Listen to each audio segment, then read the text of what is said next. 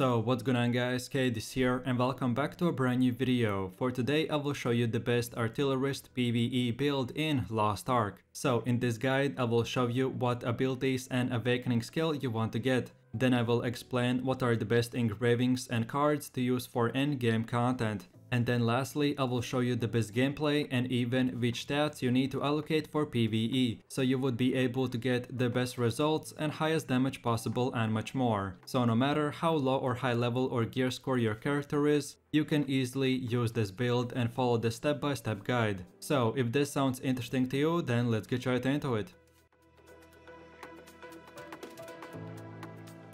So the Artillerist is a slow but deadly damage focused class. Most of his skills deal damage in huge AoE, which helps to clear big monster waves very fast. This is a easy but difficult to master class. His main skills like the air raid and the homing barrage have a delay between the hit and cast time, so you require knowledge of boss attack patterns and mechanics to play the artillerist to its maximum potential. Artillerist has this firepower meter that fills up when dealing damage. Each one of your stages increases the damage dealt and with our selected engravings, the final stage allows you to activate the barrage mode and during this mode you become immobile and your skills get replaced by 4 different powerful skills, which will give you huge amount of AoE damage and much more. So if you're looking for the best leveling, raiding, chaos dungeon or any other PvE content build then this is the one for you. Okay, so now let's move over to the build itself and these are the skills you want to have. So then for the first ability we have the multiple rocket launcher and we use 10 levels to unlock the flame rocket, quick bombardment and the access denied. And then lastly for your rune you want to get the gale wind. Then for the second ability we have the summon turret and this time we use just 4 levels to select the armor destruction and then for your rune you want to get the bleed. Then for the next one we have the air raid skill and we use 10 levels to unlock the quick fire, lightning bombardment and the big one. And then for your rune you want to get the gale wind. Then for the fourth ability we have the flamethrower and we use 10 more levels to select the quick preparation, shield and blue flame. And then lastly for your rune you want to get the wealth. Then for the next one we have the energy field ability and we use once again 10 levels to unlock the mind concentration, energy increase and solid shield. And then for your rune you want to get the purify. So then for one of the last abilities we have the napalm shot and this time we use just 4 levels to select the target focus and then lastly for your rune you want to get the overwhelm. Then for the 7th ability we have the forward barrage and we use 4 more levels to unlock the firepower control and then for your rune you want to get the wealth. And then for the last and final ability we have the homing barrage and we use our last 10 levels to select the guiding enhancement, weak point detection and power bomb. And then lastly for your rune you want to get the overwhelm. Then as well after level 50 for your awakening skill you want to get the missile barrage. But if you haven't reached level 50 yet then here's a specific guide on which abilities you should upgrade first while leveling with the artillerist. And then on top of all this, focus on equipping as high item level gear as you can. And then at the endgame, you should have 1250 crit and 350 swiftness. But again, if you haven't reached this point yet, then try to have around 20% stats into swiftness and 80% stats into crit. Okay, so then the way I would recommend to upgrade this build is at level 50, you will get around 250 points. So here's how your build should look like but then by doing more and more endgame content you will get more points. And at the absolute endgame, this is how your build should look like with all the 380 skill points. So at the start you use the 252 point build, and then by leveling up and completing quests you will get more points. So just keep on improving your skills and getting higher tier runes as well. So then let's move over to the engravings and you want to get the firepower enhancement. This engraving will provide damage reduction and increased crit rate per every single stage. For tier 1 content we will only need this engraving at level 1, since additional levels will only offer very little damage increase. Then the second engraving is called the Adrenaline, which increases your crit rate and is easily stackable with most of your artillery skills. Then the next one is called the Keen Blunt Weapon, which is a good engraving to utilize when you have more than 70% crit rate. Then for the fourth engraving you want to get the Hitmaster, and this engraving is very useful because your main damage skills don't have a positional attack modifier. Then the next one is called the Cursed Doll, and this is a significant attack power increase at the cost of 25% healing penalty. This penalty can be offset by paying more attention on dodging red AoE circles and using healing potions more often. And then for the last engraving we have the Grudge, and this is more advanced engraving that is recommended for tier 3 content. This Grudge is the most efficient engraving against mobs and you will get your damage increased, but in return you will take 20% more damage. So when you get to the very end game content which is called the tier 3, then get this engraving and before using it,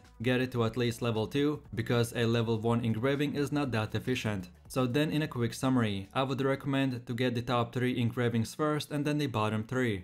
And then last but not the least, let's move over to your cards. And you want to get the Shandi, Azena and Inanna, Nineveh, Wei, Balthorr and Thirain. In general, these cards are an endgame system for maximizing your character, so you don't have to get them right away, but these specific cards will optimize your damage output in PvE even more. I did bunch of testing for this build and this was the best and most optimized card set. Okay, so then moving over to the gameplay, and if you have played this class while leveling, you will be very familiar with the skills. So I will just try to give you a short description. So then the first ability is called the Summon Turret, and like the name implies, the skill summons a turret that deals damage and puts a 12% debuff on the enemy. Then the next ability is called the Energy Release, that creates a shield around you which will absorb 40% of all of your maximum HP, and at the same time this will prevent you from getting interrupted while casting other DPS skills. Then the next three abilities called the Air Raid, Multiple Rocket Launcher and Napalm Shot